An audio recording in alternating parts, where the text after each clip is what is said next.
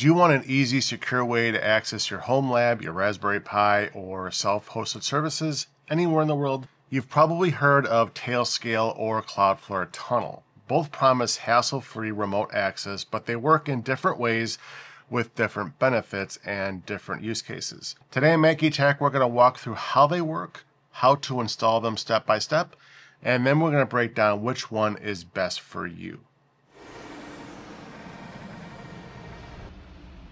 So we'll start off with Tailscale, which is a private mesh VPN built on WireGuard's VPN protocol. It creates a secure encrypted network between your devices. Now, in traditional VPN like WireGuard or OpenVPN, all traffic must first connect through a centralized server. And by contrast, a mesh VPN like Tailscale acts similar to a peer-to-peer network where there's no central server, and each Tailscale device can act as both a client and a server. The other benefit of Tailscale is you don't need to mess with any annoying configuration files like traditional VPNs. Tailscale is ideal for remotely accessing your home lab or a NAS or maybe a Raspberry Pi where you and a small group or a peer-to-peer group in this case need secure remote access. And like most peer-to-peer networks, only devices with Tailscale installed can connect to one another. This peer-to-peer network in Tailscale land is called a Tailnet. Cloudflare Tunnel, in contrast, works like a reverse proxy, but is different in that your server initiates an outbound connection to Cloudflare. This means you don't need to expose any inbound ports on your firewall, making it easier and safer to share a hosted service like Nextcloud through a Cloudflare domain that you create, like nextcloud.mackeytech.com. The result of this is I, I, kind of feel like Cloudflare is great for securely sharing a hosted website or maybe a service for maybe a homeowners association or a small business, uh, collaboration platforms like Nextcloud, or maybe a hosted server for photos like we discussed in our Immich video. So let's set up both Cloudflare and Tailscale and run through how they work. Okay, so let's start with Tailscale. If you do not have a Tailscale account, go to tailscale.com, click on Get Started, it's free, and log in with your preferred provider. After you've done that, open up a terminal on your server that you want to use, preferably something on your home lab maybe a web server or a, a NAS or maybe a Docker container. I'm going to use a web server for my purposes. This is the default command. This is the, the quick and easy command, I should say, to install Tailscale. Uh, it's just a curl command. If you don't have curl, you can do a sudo apt install curl. And what this does is this grabs the Tailscale and it installs it automatically. After that is completed, you'll see at the bottom here it says installation complete. Log in to start using your Tailscale by running sudo tailscale up. Do a sudo tailscale up, and that will start everything up for you. To check your status, if you're not sure, we can do a Tailscale status, and this will tell us every device that has Tailscale. So a couple different things on here. I have my phone, I have my Proxmox, my MacBook, a Nextcloud here that I was monkeying with, Antiques. Antiques is actually this one that we're on. So if we go back to the Tailscale website and we have a couple different things of note here.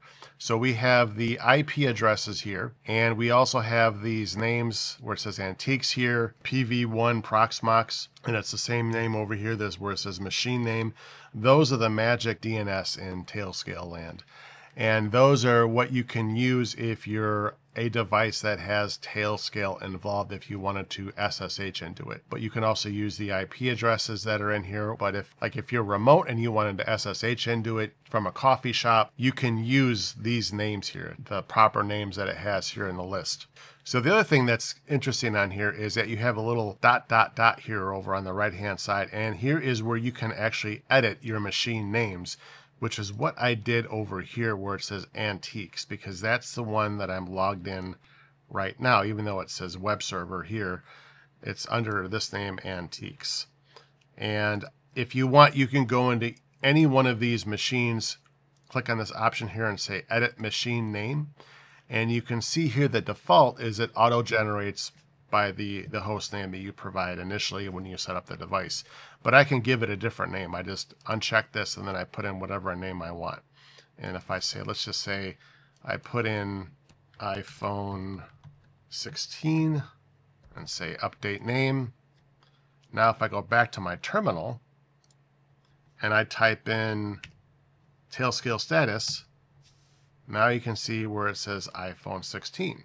Now, if you wanted a more robust, more controlled way to install your Tailscale on your device, you could go down to here where it has the environments you can use or the different ways you can install it. And let's just say, for example, we wanted to use Windows. We click on Windows and it launches into a new window where you download it and you click on an installer and then you install it from there. If you wanted to do it on a Linux machine like we just did, it has a plethora of different versions, um, different distributions. It's really the same idea. It's just a little bit more control and it gives you a little bit more transparency as to what's going on. But you can see up here, this is the way that we used and that works across the board. So let's just say, for example, that we want to try out Tailscale on the phone. So we'll launch our app, log in, and then we have our devices that we saw before in the website. And let's select the Antiques website that I have.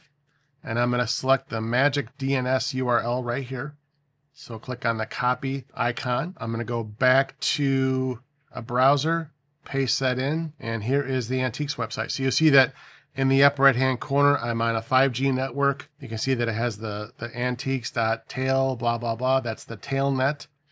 And that's the website that we want to access. So it's super simple. So to use Cloudflare Tunnel, we have to first get a domain that Cloudflare will use when we want to access our service. You can use whatever service you want. I signed up for Namecheap and I chose the domain name mackeytech.channel. But you can use GoDaddy, Google Domains, or even Cloudflare's own uh, registrar, but you don't have as many options. It's it's a little bit limited, so you're better off using a, a registrar like Namecheap or another one that's uh, well known. So after you get your domain, you go over to cloudflare.com, click on sign up, and then it'll ask you to log in. I already have an account, so I'm just going to log in, and it's going to load this dashboard. So once you log in, we're going to click on add a domain, and then you put in your domain up here that you've just created through your registrar click on continue and then it will walk you through installing it and setting everything up. It will ask you if you want to do a free one or if you want a paid one. So after you've activated your website, it will appear on here under your domains. So I'm going to click on this. You're going to get a notification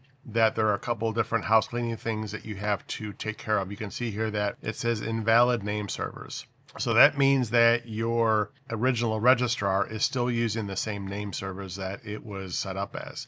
So we have to change those name servers on your registrar. In my case, it was Namecheap. And it gives you the name servers that you have to plug into your registrar. So I'm going to go over to Namecheap. This is what I did before. Here is my DNS domain that I set up. I'll click on Manage. And then here is the name servers right here what you want to do with uh, Namecheap anyway is you want to click on this drop down, go to custom DNS, and then put in these two name servers here that it gave us on Cloudflare. Different registrars will have a different place specifically where you go, but it's usually under your domain or under managed domains or under DNS or something like that. The other thing that it wants us to do is it wants you to turn off your DNS security on your registrar account because you want to turn it on on Cloudflare. So we're going to go back over to our Namecheap website and we'll go to advanced DNS and then mine is already turned off, but yours will probably be still turned on. So make sure that's turned off. And then you want to go back to Cloudflare and then turn on under Cloudflare. And to do that, we're going to go to configure DNS and then go over to settings over here on the left hand side. And then you want to go ahead and start the process to get it turned on under your Cloudflare account. So you want to make sure that you add your name servers and then you want to make sure that you turn off your DNSSEC on your registrar and then go turn on under Cloudflare. And there's instructions on it on the website as to how to do all this. And it will bug you about it until you do it. So log into the machine that you want to put Cloudflare on. I'm going to use my Raspberry Pi and I'm going to use the same Raspberry Pi we installed Immich on in our last video. First we want to do is we're going to install the Cloudflare client on here. And again, I will put all of this in my free Patreon. So first we're going to make a directory, hit enter, and then we're going to go ahead and get the repositories. And after we get the repositories, we'll do a quick update and install Cloudflared. Once those scripts are installed, we're going to do a Cloudflared. You want to make sure you type in flared, not flare, but flared login. And what this does is the Cloudflare login, it'll give you a URL and it'll also open up a window on your browser. We're just going to click on this URL here and the dashboard is opening up. This is where we're going to select the website that we just set up. So if you don't see your domain here, you can search for it here, but you should see it come up when you click on that URL. So we'll click on mackeytech.channel and it says to finish configuring this tunnel, click on authorize. And what that's going to do is it's going to drop a little token on our machine. So it gave us a certificate on that machine we just used and then it's going to ask us to close the, the window here. And now it's saying that we have logged in and we're ready to go. So now what we do is we go back to our Cloudflare. Now we want to go over to the left where it says Zero Trust. Click on Zero Trust. And under here, we want to click on Networks and then go down to where it says Tunnels. And this is the tunnel we have right now, our Nextcloud tunnel. And we want to create a new tunnel. So I'm going to click on create a tunnel. And then I want to make sure I select Cloudflared. Don't click on Warp. That's a different entity altogether. So we'll select Cloudflared and then give it a name. And you want to give it a name that is you know what the service is. In this case, it's Immich, so I'm just going to say Immich. Save on save tunnel. So we've named our tunnel, and now we're over on installing a connector. You want to make sure that we're on the correct environment up here at the top. We're just going to click on Debian because Ubuntu and Raspberry Pi are derivations of Debian. And you might look on here and say, well, we just did all this, and we did. So the only thing we have to do now is we're going to copy this one command here, and then we're going to go to our Raspberry Pi and click on this. And then what that does is it tells the Cloudflare to automatically run every time the Raspberry Pi reboots, which is which is fine. That's what we want. And then we're gonna click on next at the bottom here. And now this is where we come to the kind of the fun part, I think. So now we're going to select our domain, which is the Mackey Tech, and then we're going to click on the subdomain. And the subdomain is what we're going to sort of our the tunnel that we made. You can use a different name than the tunnel you created. It's up to you. I'm going to use the same name just to make things simple. And then we want to select our service. By service, it means is it HTTP, is it SSH, is it RDP? Because there's so many different ways you can use this. We're on a local network, so we don't have HTTP, HTTPS. We're just going to use HTTP. And for our URL, and we're just going to use this URL right here. We're just going to copy it and paste it over to our Immich, just like this. Get this out of here, and then click on Complete Setup, and that's it. Now, if we go to our browser up here, let's, uh, we're not going to use that anymore. We're going to use immich.mackeytech enter, and here is our login. And we can see that it is HTTPS. So it automatically gave us an HTTPS and we can log in if we want to. Now, there's one challenge here. Anybody their uncle can, if they know this address, like you guys out there in TV land, you can look at this address and go, hey, I can log into Mackey Tech's uh, Immich server. Fun, fun, fun. You're not going to find much interesting stuff there, believe me. So let's go back to our Cloudflare site. We want to create a little bit of protection. So I'm going to go over to the left-hand side to where it says access. And what I want to do is I'm going to create an application that blocks certain traffic. So we'll click on applications and you can see that I already have a, a, Nextcloud access set up. So I'm going to create a new application by clicking on add an application, self-hosted, which means that I'm running it here. And then I'm going to give it a name. I'm going to say Immich access and the session duration is going to be 24 hours.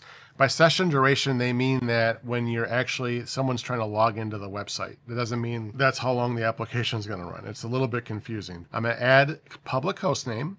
So click on that, and then I'm going to type in Immich, and then select our domain, Mackey Tech channel, and then I'm going to go down to the bottom and select next. And I left all of these as default in terms of using a custom logo when people log in. If you want to have certain tags or certain custom pages, I just left all this as default and clicked on next and then clicked on save. And so here is the application that we just created, Immich access. So we don't have any policies assigned yet where it says zero. So I'm gonna click on this little three button here and click on edit. And then under edit Immich access, I'm gonna click on policies and I'm gonna say create new policy. And I'm gonna say Immich email access. And then I want to make sure that the action is allow. We don't want block, just allow. And then we're going to add a couple rules. The first rule is going to be that you have to have a certain email address. And you can use whatever one you want. You can have emails ending in, let's say, Gmail or Hotmail. I'm going to say emails. So we'll say uh, mackeytech at msn.com. It's not a real email address. And then we'll say add require. So requirement means that, that you have to have this also. We'll go down to country as an example, and I'm going to say you have to be in the United States when you're accessing this website. So if you're hanging out in South Korea, even if you have the correct email address, you're not getting in unless you have a really fancy um, VPN service. So after you put in your different email addresses in there, click on save and it says policy save successfully. So let's go back to our applications and here's our here's our Immich access where I click on you can see there's still no policies assigned. So click on edit. I'm going to say select existing policies, Immich email access, and then click confirm and then save it. Now let's test these out. So let's go to our Immich that we created before. We'll click on this little refresh button and now it's asking us for an email. So we can put in our email and then it'll send us a code where we can go ahead and get access to the content. So I'm going to put an email address in there that'll actually work. I'm going to click on send me a code. Okay, so I got my code. And there we go. So we can now log in. So Cloudflare does have a lot more hoops to jump through. It's a little bit harder to install, a little more involved. But in my opinion, it's a more robust service. It's better for accessing websites and services like Nextcloud and Immich. So let's take this offline and we can talk about which one might work better for you. So as I mentioned earlier, I, feel like Tailscale is better for private home lab access, for individual devices, or for a small group. You can certainly use it to access a website that you're hosting, but if you're doing it for more than a few people, it doesn't become real practical. Um, you know, for more than three or four people, in my opinion, I think it's better to use Cloudflare, especially if you're hosting a website or a Nextcloud site, because no one needs to install anything, and it's just a lot faster and a lot easier to share. Uh, but that's just me. You know, let me know which one you would pick. Uh, let me know what you would want to use it for. Drop us an answer in the comments. If you found this tutorial helpful, please give it a thumbs up and make sure you're subscribed to Mackey Tech and to ring that sub notification bell. I will be posting these instructions for the walkthrough under my free Patreon tier and I also offer paid tiers for additional support or if you need an extra hand. Uh, anyway, that's going to wrap it up today, folks. Thank you very much for watching, and we'll be seeing you again very soon.